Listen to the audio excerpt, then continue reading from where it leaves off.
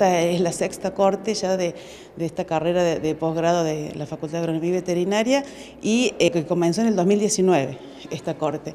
Bueno, después debido a, la pandemia se pudieron hacer algunos cursos virtuales y estamos retomando la, presencialidad, el primer curso presencial.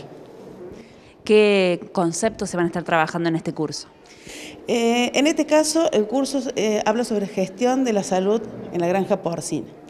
Eh, la producción porcina es muy compleja en, todos los aspectos que hacen a la, producción en sí, a que sea una, obtengamos un producto de calidad para la seguridad alimentaria y para la seguridad, como hoy en día se trata, de una salud.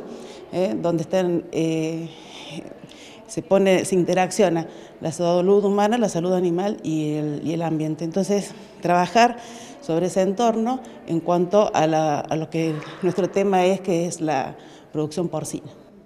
Nos decía que es la sexta edición de esta maestría. ¿Cómo fue creciendo, cómo fue avanzando el dictado de esta propuesta académica?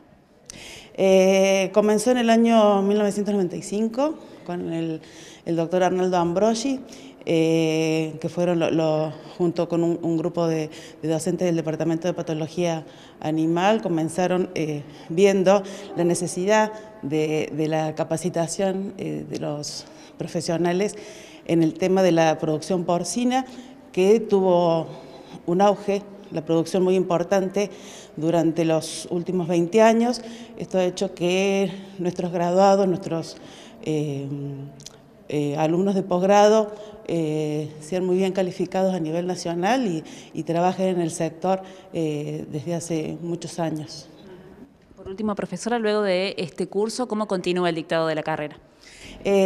hace fin de mes tenemos la presentación de otro curso presencial, Sistemas Productivos para la Pequeña y la Mediana Empresa, dictado por, profesionales del INTA Marco Juárez el doctor, el doctor Brunari y el doctor em, Raúl Franco, y eh, por este cuatrimestre. Después del cuatrimestre que viene se seguirán con otros cursos también, ya para terminar la propuesta académica de esta corte.